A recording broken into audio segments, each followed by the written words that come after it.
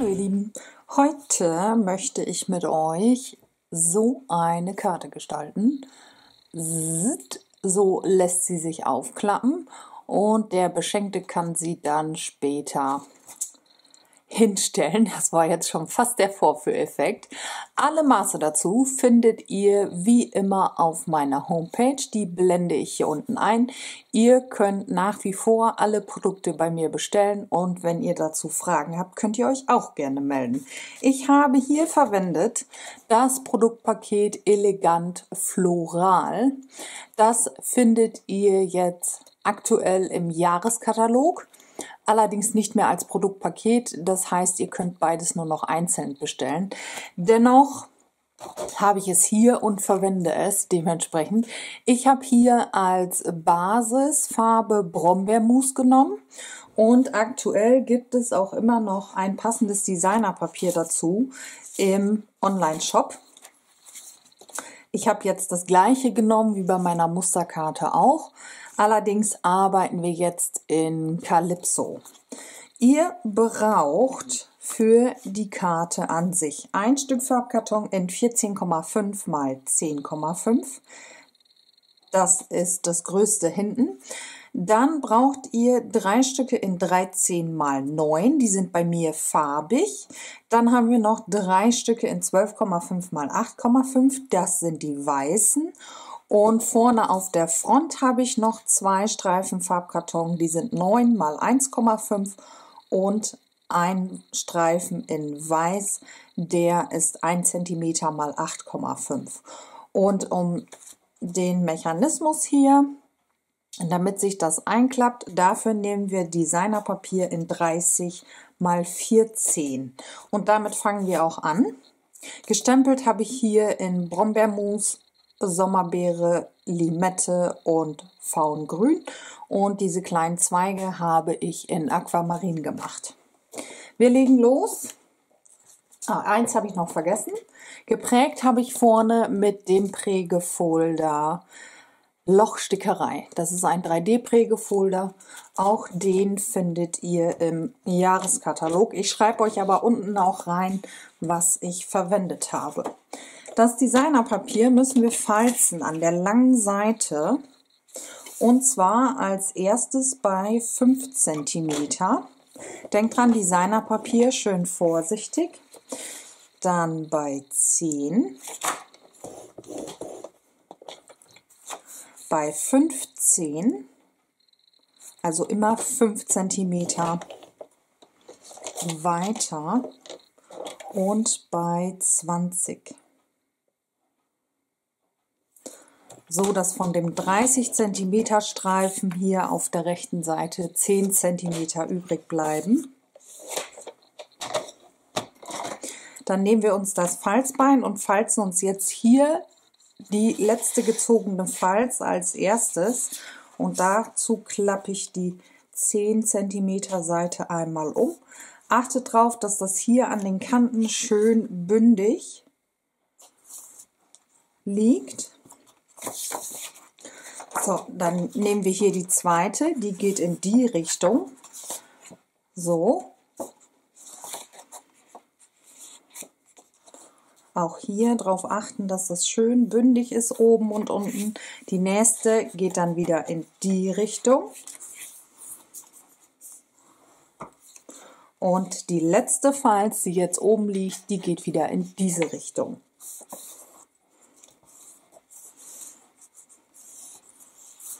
Und so haben wir dann das Hauptelement schon fertig. Das können wir dann schon aufkleben. Und zwar auf das größte Stück in 14,5 mal 10,5.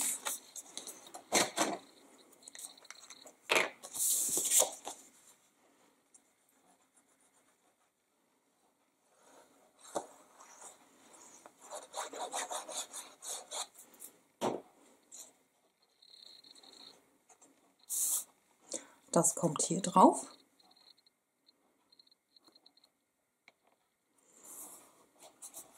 Schön mittig, so dass wir rundherum den gleichen Rand haben. Und dann können wir es aufklappen. einmal glatt streichen. Und dann nehmen wir uns die drei kleineren Stücke, bei mir jetzt wie gesagt in Calypso, in 13 mal 9. Das erste kommt hier mittig drauf. Wenn ihr mehr vom Designerpapier sehen möchtet, dann könnt ihr die Stücke natürlich auch kleiner schneiden. Das ist gar kein Problem. So, da kommt das erste hin. Und jetzt haben wir ja hier den ersten Knick. Den legen wir jetzt auf das Stück. Dann kommt hier das zweite hin, aber nicht mehr ganz festkleben, sondern das dürfen wir jetzt nur an dieser Seite festkleben. Ich lege mir das einmal auf den Kopf, so dass ich die unschönen Schnittkanten nach oben liegen habe. Lege mir das parallel zu dem anderen. Dann nehme ich mir einen Bleistift, mache mir zwei Markierungen. Ich bleibe ein kleines Stück von diesem Knick vom Designerpapier, bleibe ich weg. Dann können wir uns da auch schon Kleber drauf machen.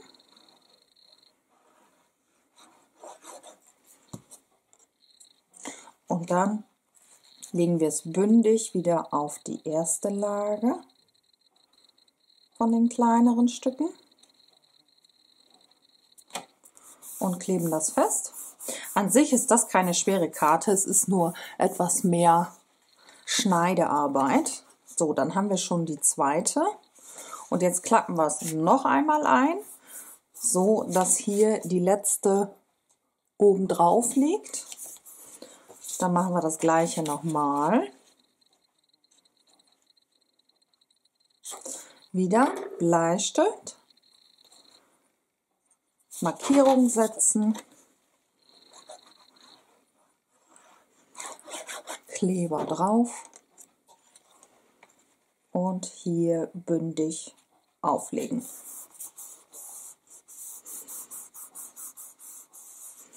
Und somit ist an sich die Grundkarte schon fertig. Wir dekorieren jetzt noch ein wenig. Und zwar für die erste Lage innen hier, da habe ich jetzt das grundweiße Stück Farbkarton, da habe ich einfach nur unten eine Blüte drauf gestempelt. Und ich sehe gerade, ich habe keinen Schmierzettel. Dann nehmen wir einfach mal hier den Zettel mit den Maßen. Das Stempelkissen in Calypso.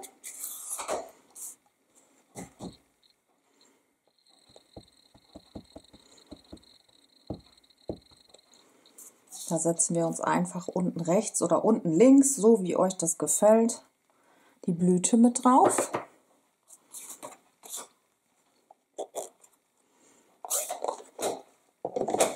Und das könnt ihr dann, wenn ihr es beschriftet habt, hier später hinkleben. Ich klebe das dementsprechend wieder später auf. Dann haben wir in dem Stempelset dieses große Blattwerk. Das stempeln wir jetzt und zwar auf die zweite in Faungrün.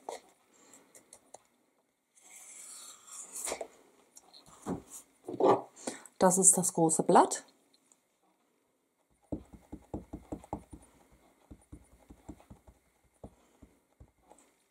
Und jetzt lege ich mir das so ein bisschen schräg und setze mir das einmal in die Richtung auf.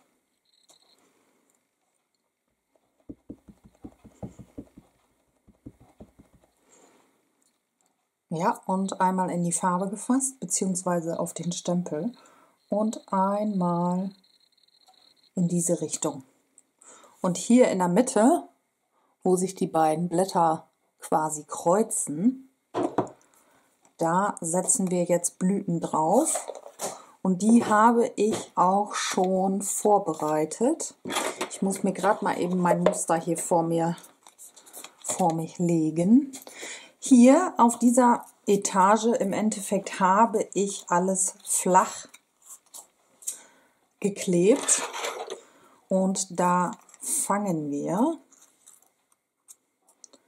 mit der Blüte in Sommerbeere an. Auch die habe ich hier wieder in Sommerbeere gestempelt.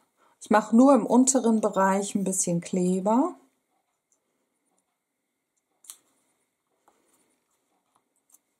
Dann nehmen wir uns hier eins von den Blättern in Limette. Das kommt hier drunter.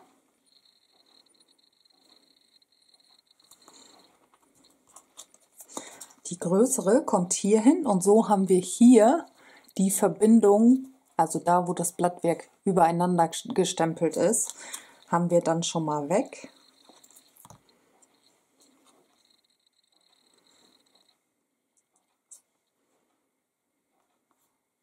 Hier in diese große Fläche, da kommt dann noch ein weiteres Blattpaar hin, gestempelt in Faungrün.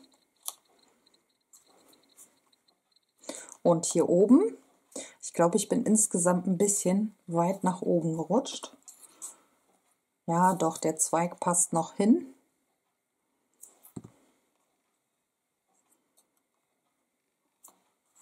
Der kommt dann hier hin. Den klebe ich nicht, also ich habe an sich nicht alles ganz festgeklebt, aber schon an gewissen Stellen damit wir dann noch was drunter schieben können.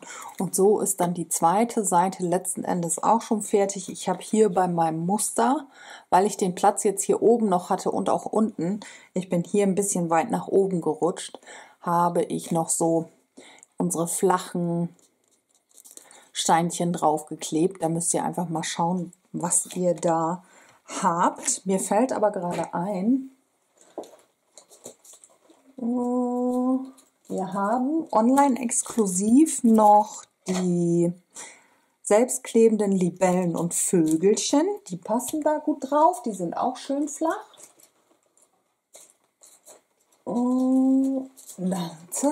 Oder unsere Schmetterlinge. Und ich habe es endlich geschafft, mir neue zu bestellen. Die packe ich jetzt bei mir drauf. Die sind wirklich, wirklich schön.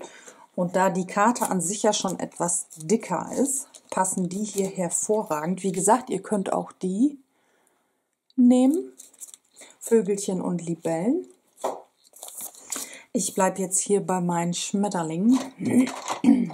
Wer mir länger folgt, weiß ja, dass ich Schmetterlinge sehr mag. So, und da wir jetzt hier unten eine etwas größere Lücke haben, nehmen wir hier unten na, einen großen und zwei kleine. Und ich glaube, dann lasse ich es auch schon so. Ja, sonst wird mir das zu viel. Und das können wir dann schon einkleben. Das andere hier brauchen wir gleich für die Front. Das kommt dann hier hin. Ihr könnt natürlich auch auf der zweiten Lage jetzt einen Spruch stempeln. Dazu noch, je nachdem, was ihr da mögt, wie euch das gefällt.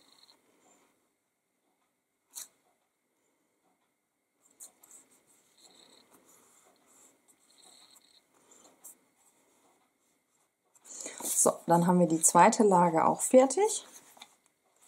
Wie gesagt, das hier klebe ich ein, wenn ich es beschriftet habe, beziehungsweise, ach, ich klebe es jetzt ein. Ich kenne mich, wenn ich die Karte dann erst an die Seite packe, bevor ich sie verschenke, dann geht mir dieses Stück Farbkarton bestimmt verloren. So, und jetzt machen wir die Front. Das heißt, das ist das dritte Stück Grundweiß in 12,5 mal 8,5. Bevor wir da was drauf machen, prägen wir das erst. Und da nehme ich den gleichen Prägefolder nochmal. Lochstickerei. Der kommt aus der Produktreihe Landhaus Glück. So, dann brauchen wir die Stanzmaschine. Die große. So, und jetzt muss ich selber erst schauen, was wir denn für die 3D-Prägeform brauchen. Ich habe die Maschine selber noch nicht so lange. Ah ja. Die Nummer 1, also die Grundplatte. 3D-Prägeform. Da brauchen wir die Spezialplatte. Das ist die graue, die dunkelgraue. Habe ja sonst immer mit der Big Shot gearbeitet und gebastelt. Die habe ich auch noch, aber die verliert so langsam den Druck. Aber ich habe die Big Shot auch puh, bestimmt zehn Jahre oder so in meinem Besitz. Sie funktioniert noch, aber gerade für filigrane Stanzformen und sowas, das war dann doch echt schon grenzwertig. So, geprägt. So sieht das aus. Ich finde diese Prägeform wirklich schön. Das kommt dann hier vorne drauf.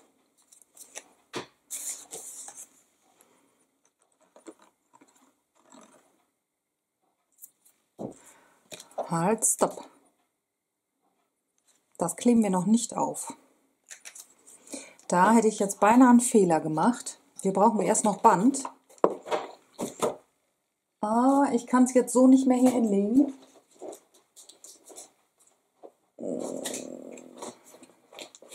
Einen Moment, ich muss gucken, wo meine Silikonmatte ist. Da ist sie schon. War natürlich in meinem Bastelwagen. Wir müssen hier, wenn ihr das machen möchtet, erst noch Band hinzufügen. Dafür muss ich es jetzt einmal auf die Vorderseite drehen und dazu jetzt auch die Silikonmatte, damit mir das nicht festklebt am Papier. Wir haben hier noch zwei Streifen in 9 mal 8, nein, 9 mal 1,5, die kommen hier drauf. Einer oben und einer unten. Die können wir festkleben. Die gucken hier jetzt rechts und links ein bisschen drüber her, das ist aber nicht schlimm. Die sollten gleich bündig abschließen mit dem Farbkarton.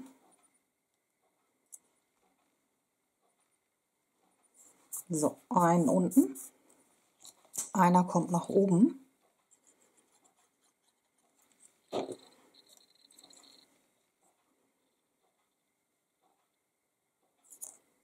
Ich glaube,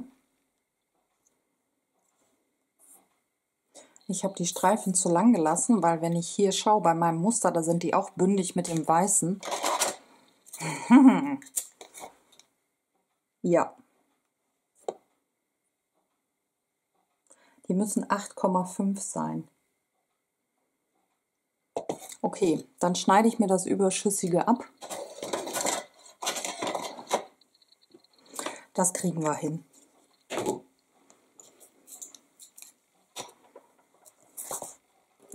Das klebt jetzt natürlich, ne? Das hatte ich jetzt schon wieder vergessen.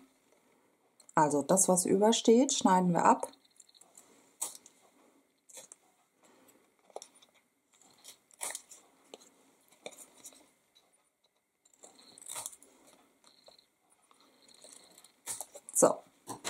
Dann nehmen wir uns doppelseitiges Klebeband.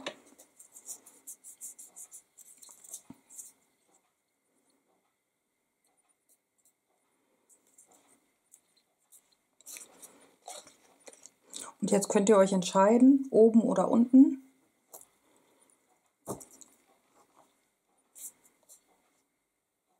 Das war jetzt natürlich ein, oh nein, jetzt geht es völlig den Bach runter. Ich habe jetzt die schöne Seite auf den Kleber gelegt. Oh wei.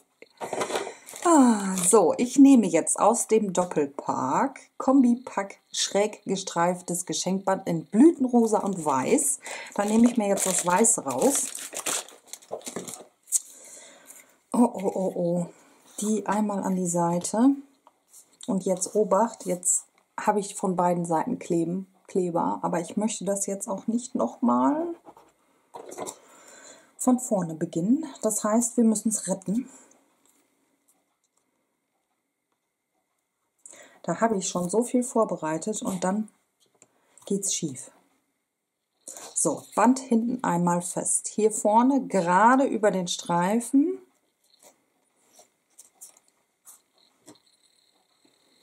Große Schere. Abschneiden und dann habe ich mir für vorne, und jetzt brauche ich meine Silikonmatte wieder, ein Schleifchen gebunden.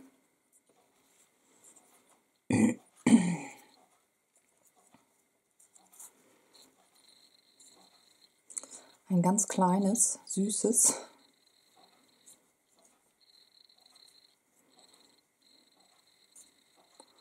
Die Seite noch ein bisschen kleiner. So.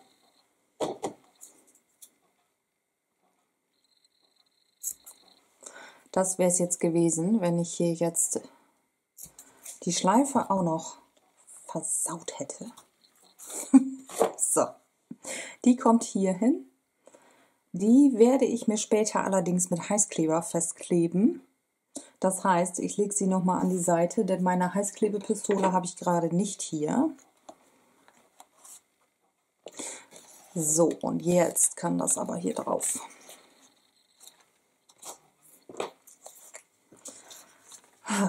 Oh, oh, oh, oh. Man denkt, man ist gut vorbereitet und dann passiert es doch. So.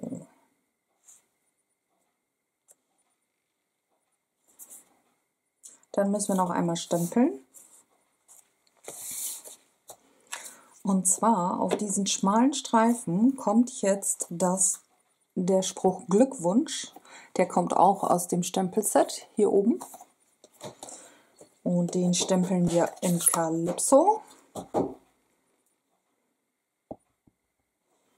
Und zwar schön mittig und wenn es möglich ist, gerade. Ha! Huh. Hier drauf. und den habe ich dann wiederum flach.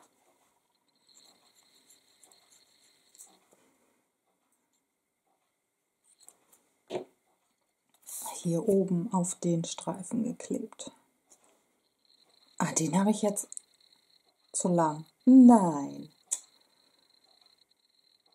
Okay, dann machen wir es bündig. Jetzt kann ich es nicht mehr abschneiden. Hier bei meinem Muster habe ich noch einen Rand gelassen.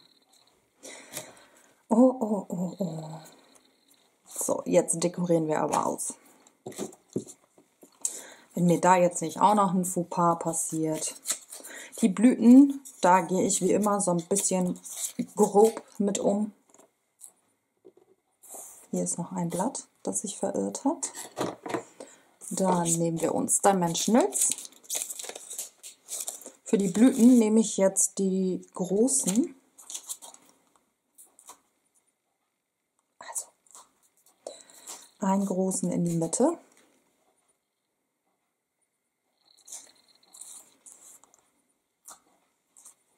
Also diese Packung der Dimensionals will mich echt ärgern. So, die kommt hier auf die rechte Seite. Dann ziehe ich mir die Blätter wieder so ein bisschen über meinen Fingernagel, dass die so ein bisschen hochkommen. Und dann schieben wir die hier drunter. Dann habe ich noch eins in Faungrün genommen.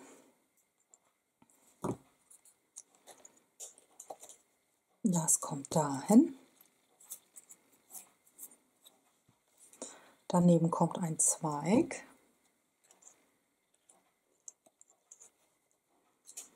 Und nochmal ein Blatt in Limette.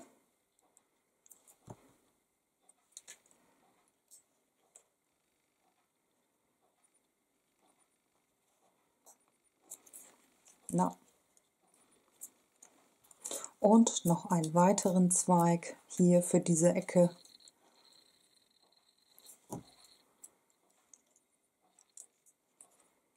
So. Und dann haben wir es auch geschafft. Pleiten, Pech und Pannen waren auch dabei. ich bin gespannt, wie ihr die Karte findet, welche Farbe euch besser gefällt. Also mein Favorit ist definitiv Brombeermus. Mein Schleifchen habe ich dahin gelegt. Das fixiere ich mir hier jetzt gleich noch. Und dann sind wir für heute schon wieder durch. Ich wünsche euch wie immer ganz viel Spaß beim Nachbasteln und falls ihr Fragen habt oder die Produkte von Stampin' Up bestellen möchtet, könnt ihr euch gerne bei mir melden. Bis zum nächsten Mal. Tschüss!